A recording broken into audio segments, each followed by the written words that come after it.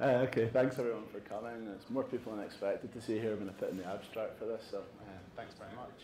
My name's Campbell McNeill and I'm a, an architect at Dell. I'm responsible for the online experience and the, the whole onboarding process and the sort of back office management processes of um, the Dell Cloud Console, uh, which we use for provisioning existing cloud services. And I'm also heavily involved in what we're going to be doing for private cloud in terms of uh, what we're doing with OpenStack, how we're integrating that with enterprises, that kind of thing. Now, apologies for the slight disaster here with the sidebar. I'll just progress with it because I could fiddle with this all day.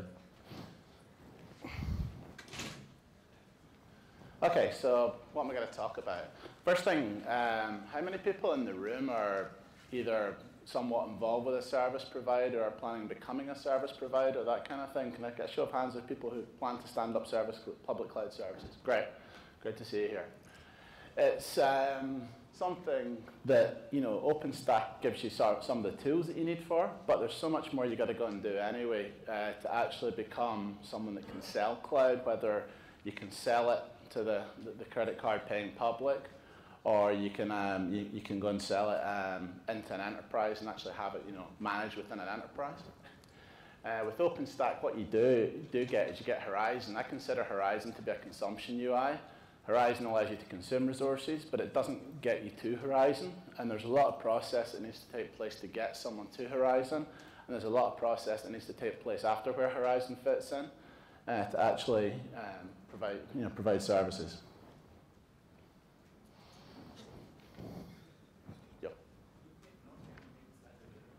Yeah, of course. Uh, uh, I'll, what I'll do is um, afterwards I'll put them in SlideShare and tweet out the link and you can just email me or whatever. Yeah, no worries.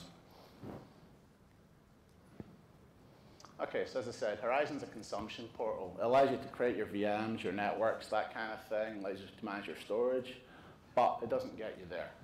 You know, it leaves that OpenStack as an island. If I stand up OpenStack as it is, what happens is I've got something there, I've got separate identity services, I've got to manually put people on there, that kind of thing.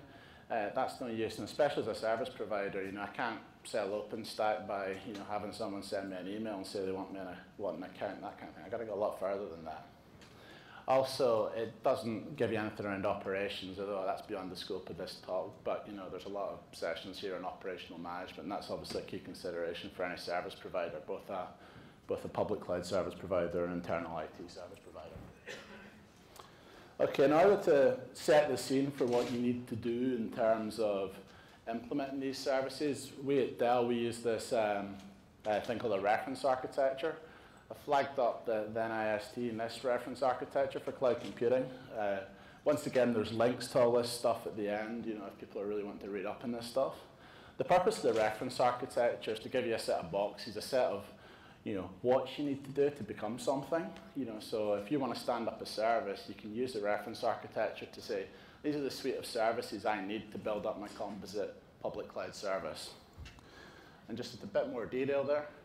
Um, around what we do as a service provider, we need to provide a set of things, you know, service management, or sometimes called business support services, BSS. And just as part of that, you know, you've got your, you've got your whole um, things you need to include there around customer management, contracts, inventory, you know, accounting, reports, pricing. You've got to be able to provision. Uh, you got to be able to meter. You've got to be able to monitor. You've got to be able to manage your SLAs. You might have to pay out if you don't meet an SLA, that kind of thing. And then there's a, this, this stuff's not stuff I'm going to cover, but you know, you got the whole, the whole notion of. I'm a service provider. I stand up a cloud. I've got to be able to get customers' workload onto my cloud. So you know, these are considerations you need to make in terms of actually building up a service that people will pay money for. Yep.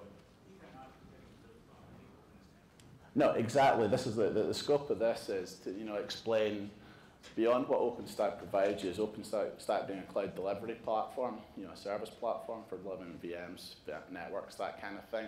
This is about the suite of services that you need beyond that to take it and make money from it. Okay, what I've done here is just provided, you know, just like a very abstract level, what it might look like if I'm a service provider. I've got to provide something beyond Horizon. This is Horizon on the right-hand side here. What I've got here is basically, I call it a service management portal, service management console. You can call it what you like. The whole point in the service management console is before you actually get into the consumption of your cloud services. You actually have the ability to manage the, the, specifics around those services. OpenStack, Nova being, you know, compute being a cloud service, object storage being a cloud service. You might have SaaS applications in your cloud portfolio. We certainly have some. You might have different cloud, cloud offers based on different platforms, that kind of thing. Platform as a service, that kind of thing. At a higher level, what you want to do is basically have a management console around that and allow customers to basically see things cross-cloud platform rather than a specific cloud platform. And then what that does is that gives them access, flips them over into the likes of Horizon so you can do cloud consumption. Okay, so what I've basically you know, described there is what you want to do is you have your, your whole service management stuff, which I'll go into more detail in a minute, on one side. Then you use OpenStack from the community, differentiate on top of that as part of your your cloud service platform and you, you stand up as a separate service, but you consolidate identity between them. And at high level architecture, these are some of the problems you've got to solve when you're a public cloud service provider. And you've, you, you've, got, um, you've got certain things that go beyond the core OpenStack platform, which I've got down here.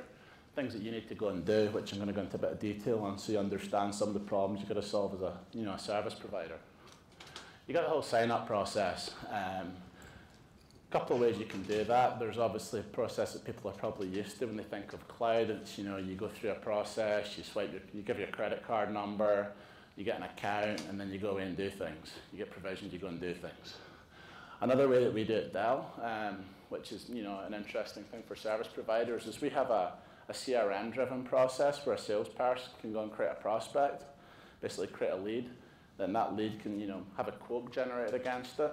And then once the customer accepts that quote and basically orders that quote, the order's created, then you dovetail into a similar process that you would do at the end of a you know, credit card checkout process. So you've got that, that means of doing things as well. Service management I've already talked about a little bit, you know, that's the whole notion of uh, going around and actually managing that service. Uh, support, I'll talk a little bit more about that in a minute. Most people know what support is, but you know, it's a key consideration that as a service provider, you've got to be able to pro provide support for your offer. And obviously billing, you know, I'm a service provider, I want to get paid for it.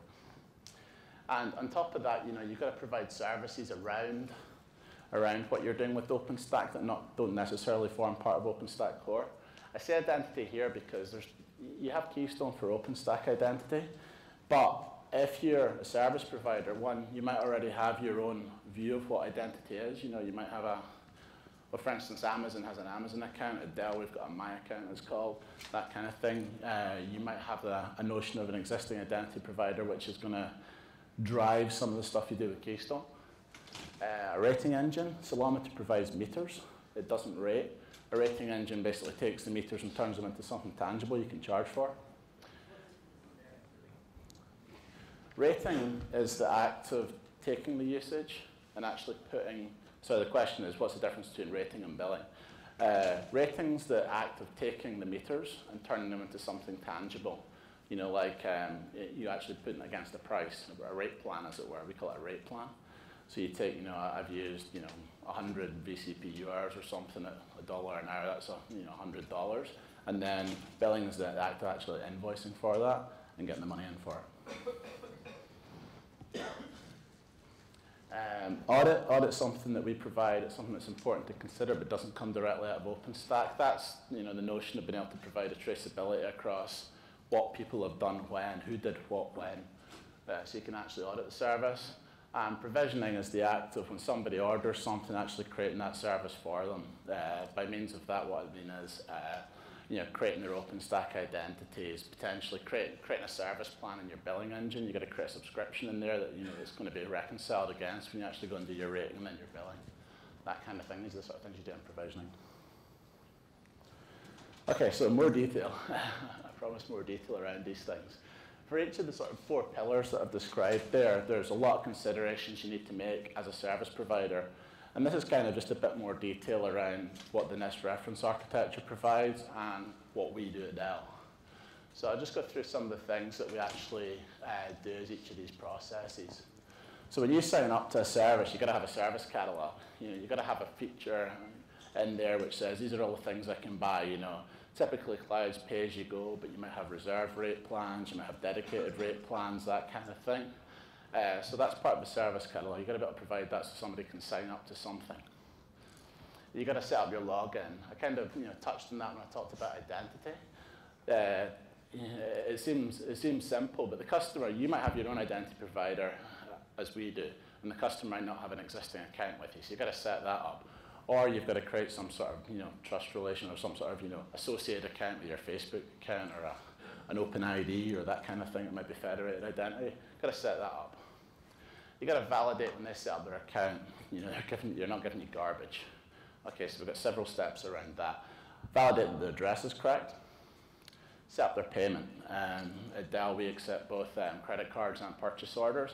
Uh, purchase orders is, is a back-end process to reconcile with a purchase order system.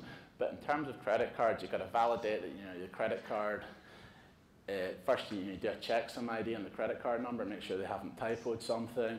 You've got to go away and actually validate that credit card belongs at their, their stated address. You've got to check their CV2 number, whatever it's called. Um, you've got to validate that. Basically, you got to make sure you're not getting garbage. And in addition, you've got to carry out a fraud check. Now, you get, as a cloud service provider, you get an awful lot of people trying to use stolen credit cards to try and sign up for your services. They're always trying to get something for free. You've got to put a fraud prevention check in there to try and mitigate some of that. Uh, the way you can do that is you, know, you can use fraud providers. A simple way is to you know, validate their phone number actually belongs to them. Uh, a lot of people who try and do fraud use dodgy phone numbers, i.e. phone numbers that might go to a switchboard at a company they're pretending to represent or something like that, or you know, to a track phone, that kind of thing. So the important consideration is to use some sort of, you know, some sort of mechanism there to try and make sure that that person who's signing up for that service is actually a genuine person. They actually do own that credit card and they actually do represent whoever they say they represent. Credit check something that's important.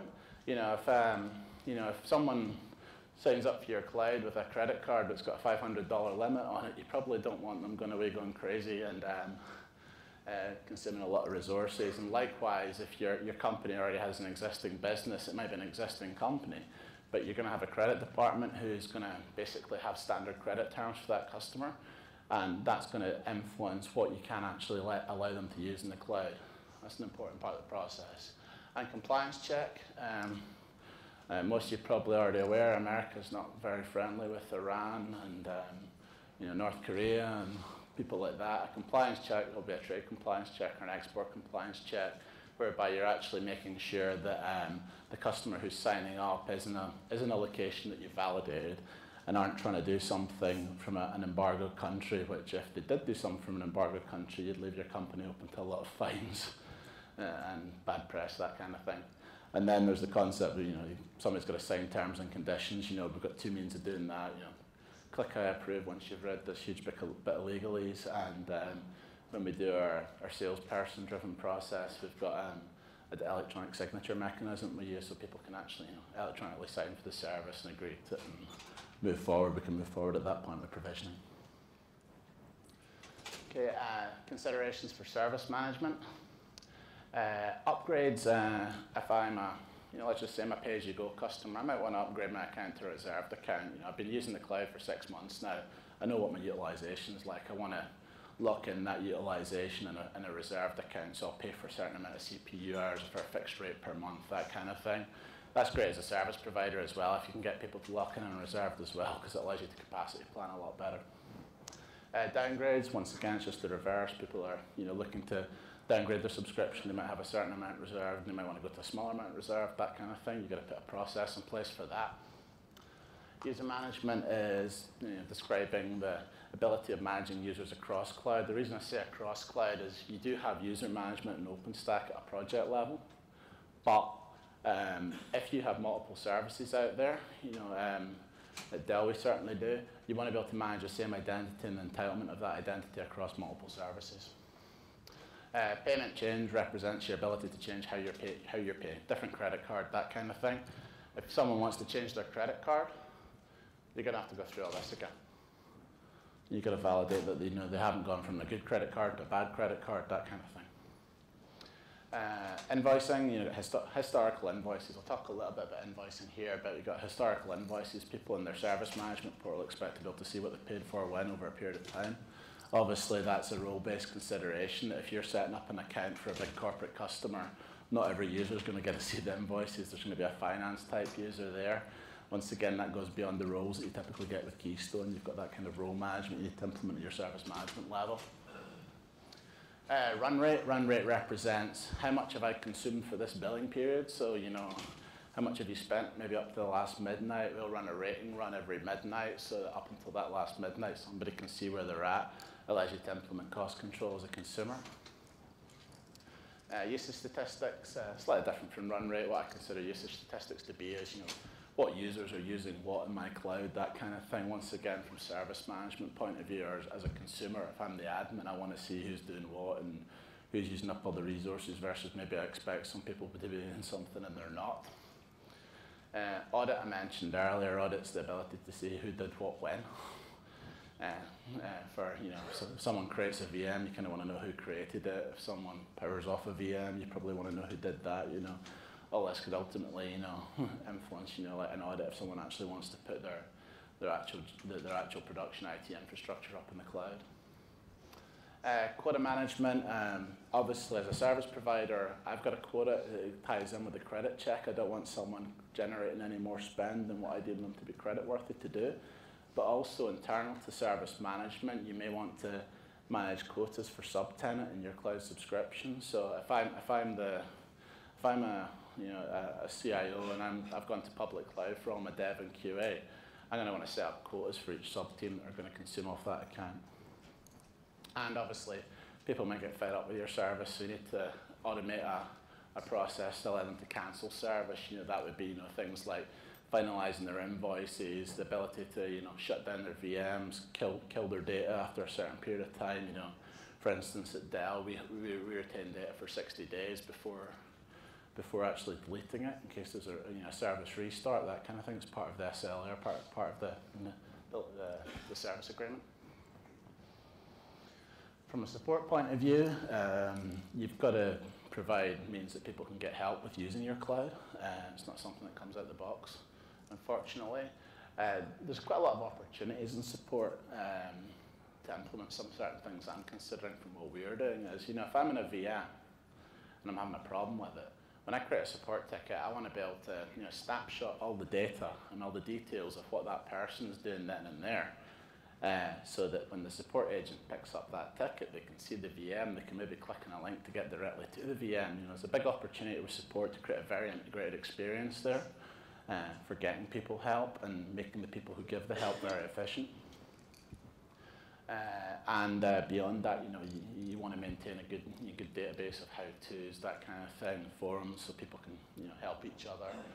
Um, you know, something you might support uh, is, you know, an image repository uh, as a service provider, if you're supporting an image repository, let's just say I'm, I'm supporting Windows, say, if I put a Windows image out there that I'm going to charge for, you know, what's my customer's expectation on the state of that image? You know, you've got to provide support around that. And I'm, by means that if I just put Windows Server 2008 R2 out there and just leave it, I can't do that. There's a big liability associated with that because if I leave that for six months, it's so unpatched. As soon as someone spins that image up, it's going to have problems.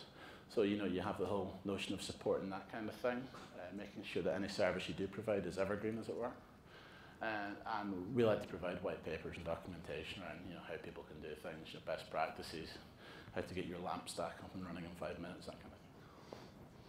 And last but not least in, this, in, these, in these pillars, um, billing. Billing, I mentioned previously, once you've rated the data, you get an invoice for it, so you've got the whole process of either send emailing someone an invoice, having payment come in and reconciling that payment with that invoice if it's a purchase order, or you have um, the, the process of you know, charging someone's credit card.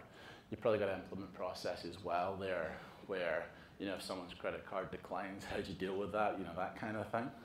Part of the billing process. Tax calculation is an important consideration. You know, you've got different tax regimes in different states. We do Excuse me. um, we've got um, you know different tax regimes in different states. If you do business in states, you've got to charge sales tax in those states. And likewise, if you go global, you've got different tax regimes in different countries you do business. So we've had to put a system in place where you calculate tax based on where that customer is and where you do business, that kind of thing. Uh, sales compensation sounds like a weird one, but it's actually quite a big consideration. Um, for instance, if you've got a salesman that sold cloud, how do you compensate that salesman once the customer uses it? Depends on what your sales compensation plan is. You typically assist them to do that, so the sales guy gets comped on what he's actually sold.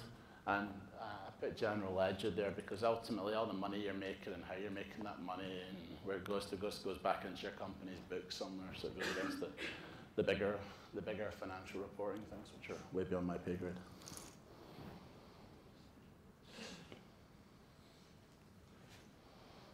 Okay, uh, so that was all about public cloud, service provider type stuff. Private cloud in the enterprise is kind of similar, but it's a wee bit cut down. But there's a couple of different considerations, or the considerations I make that I want to point out It might be useful for some people. You still have your Horizon there. You know, but you know, if, if you set up Horizon as it is today in a lab, you know, your lab manager is probably going to send out somebody credentials and they're just going to use that, and it's kind of going to be a once again, still an island. One of the things we do um, is we want to provide a means of managing service entitlement inside an enterprise. So let's just say a company's you know, got a very strategic point of view that we want to move all of our infrastructure onto the cloud. We're sick of all these teams with siloed little pieces of infrastructure, virtual infrastructure, whatever you've got. We want to invest big style. We want to go big in OpenStack. We want to build that in there and we want to basically move all of our workload onto OpenStack so we have a single management paying for that workload. Um, in a small company, it's easy to manage just with, you know, just with this. But in a large company, it becomes a bit more of an arduous process. So to do that, what we do is we provide basically a service enablement portal, um, website, whatever you want to call it, which allows people to provision services within the enterprise. Well, some could be within the enterprise, some could be without, out with the enterprise. But ultimately, it allows people to provision stuff as far as what they're entitled to do. And so the user experience around this is I'm a dev lead, I need, I I'm going to need 10 VMs for my, my, my project, for my dev. I can go in this, I can click on I want something in the compute lab and that can provision me an entitlement in the compute lab. But there's a process behind that that needs to be considered and I'll go on to that. So in a, similar slant with regards to the the, the sort of overall architecture is similar to what you saw before, but the semantics of what's in these pillars is different. I've not called it sign up because it's more of an onboarding process and inside the enterprise, you know, to get that user on board onto the system. Uh, from an entitlement point of view, there's certain other considerations there, bearing in mind that just because it's internal, doesn't mean you're not, you know, you're not incurring spend by using those resources. Support, once again, similar, and billing slightly different, but it still needs to be there. So go into a wee bit more detail around those. We still have a service catalog, you know, uh, OpenStack Compute, that's a service. Um, Swift, that's a service. You might have other services. For instance, we have to manage entitlement around Salesforce.com. You know, you pay Salesforce 500 seats and you've got to manage that entitlement. You know, it's, it's, it's, a cloud service or it's an internal service. It doesn't really matter. The fact of the matter is, is someone's got to basically ask to get it. They don't just get it. And then there's a notion of approval. Because there's a cost associated with this, you know, it's going to get billed back, charged back within the same company. You've got to basically go through the process of having your manager sign off or whoever pays the bill sign off that, that, that resource utilization. And then based on that, I'm going to set up an entitlement. You know, if, I, if I'm a dev lead, I get 10 VMs, I'll get set up an entitlement for my 10 VMs. And you got to record the cost center, you know, my department, whoever, whoever I work for, who's going to pay the bill, I've got to record that cost center inside the, you know, in, in, the, in the process of managing entitlement, slightly different um, from what we've seen before. Uh, policy management, um, something about policy management is, you know, if I've got an environment who has rights to do things in that environment versus other environments, if I, if I own a, like an application development lifecycle process, I might have some entitlements which are using the dev environment, whereas other people can promote code to the QA environment, that kind of thing. CMDB, you're inside an enterprise now, you've got to record the VMs based on the VM name. That doesn't tell you very much. You've got to record what the workload is in that VM. That's part of, part of what has to be integrated there. User management, as we said before. Uh, service change is, you know, changing the entitlement around that service, you know, or, you know, like I need more VMs, how do I manage that? These are just the same as before. What am I using? When am I using it? Audit, as before and quote management and service cancellation. A project comes to an end, they might not need the resources anymore. It'd be nice if they freed them up so I could you know, reuse them. Support, just as before, but obviously you're going to have to integrate in this case with a probably when you when you build a cloud for an enterprise, they're going to have an existing support system. So rather than roll your own or you know, use your own point of view, you got to integrate with what they already have. Uh, cost center chargeback. Um, just a chargeback. Um, once people have actually used it, you've got to you know, do your internal billing, integrate with whatever system a customer has for internal billing. And once again, financial reporting around the use of the cloud. Okay. Just a couple of pointers um, from what I've learned at Dell on user experience, uh, user experience around using the cloud.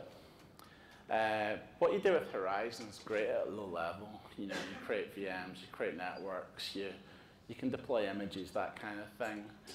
But it's kind of it's kind of pretty pretty hands-on, pretty step intensive, that kind of thing. What we like to do around common tasks, etc., is basically provide you know, a composite API effectively, which actually rolls up and means that you know from the client side you're not having to go through a lot of steps, a lot of chatty steps, a lot of slow things to actually build up a service. So, you know, when you're providing, you know, UIs and extensions as a provider, you want to basically, you know, make, make long running and complicated tasks easy by providing composite services to provide those. And another tip that we learned at Dell is a lot of our customers are very, very afraid of running up a big bill.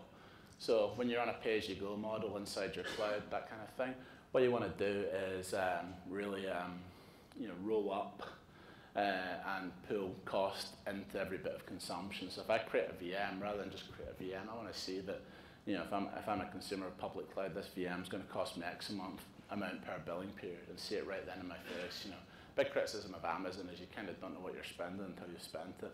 It's very, very difficult to actually see what things are going to cost. So as a usability type tip, it's really good to be able to pull that in around, um, you know, around the consumption UI. And that's basically all I wanted to talk about. One thing that's just very, very interesting to me and it's hopefully interesting to everyone in this room uh, in terms of standing up a service is the, the, the Keystone work that's going around federation and OAuth. It's something as a service provider I really need to see so that when I stand up a cloud, either private cloud or public cloud, I can allow customers to use what they already have as their, their, their current identity providers. And, um, you know, create that consumption experience as being as seamless as possible, as integrated as possible with what they already have. So I'll be at those sessions uh, this week. And I'll put the links out there for some of the other stuff I've shown as well. So uh, any questions or anything, happy to answer them.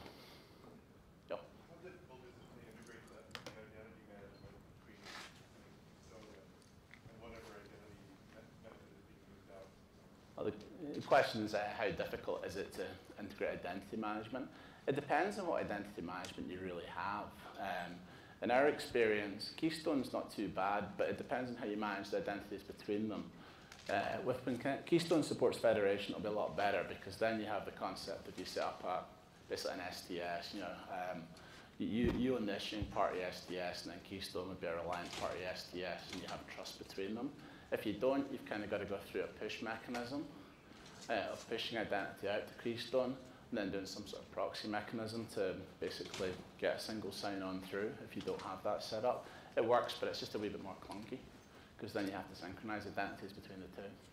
The great thing if you get true federation, which we hope to get, is I'd be able to go to Horizon and use my NT account straight in Horizon rather than um, having to you know, go through a step. What we've found is where, where, where the services we're providing for don't support that level of federation, you have to go through you know, dodgy steps like writing out cookies, that kind of thing, and syncing passwords with rear-end uh, back-end databases. And you can get into some edge cases there where you lose synchronization. A few considerations. Well, thanks very much. I'll um, send out links to the slides. Thanks for all coming.